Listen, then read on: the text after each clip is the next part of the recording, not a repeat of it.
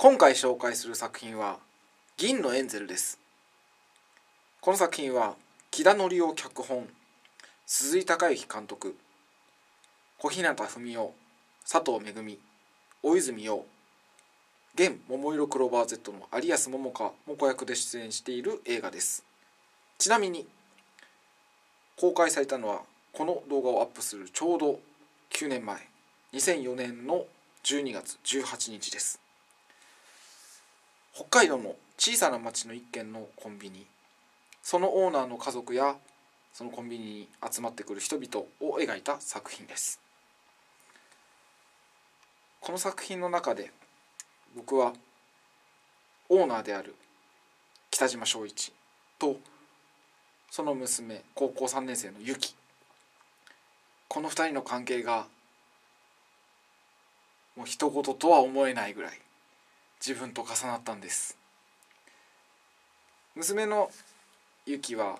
東京に出たいと思ってるんですね。絵の勉強をしたいと。大学に。東京の大学に行きたい。でもそれをなかなか父親に言えないというか言わないでいるんですね。きっと自分で固く決意してるつもりなのがその親のなんかちょっとした一言で崩れるのが怖いんじゃないかなと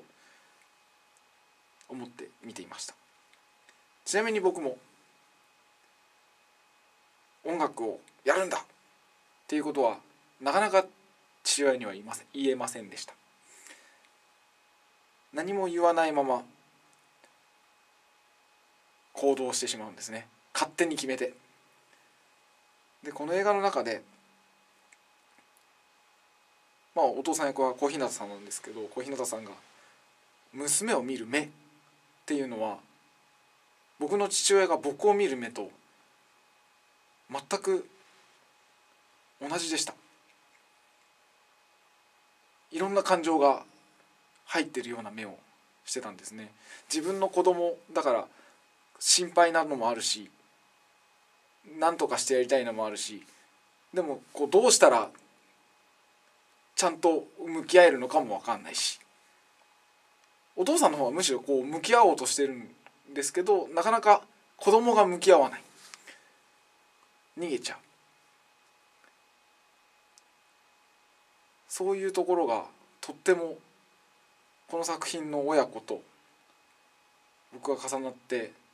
いまだに多分向き合えてない部分があるんですよ。僕と父親は。もうすぐ年も変わるしこれは正月ちゃんと向き合ってみようかななんてことをこの作品を見て改めて思わせてくれましたちょうど今この時期見ていて冬の作品なので感情移入もしやすいかなと思いますので是非皆さんもご覧ください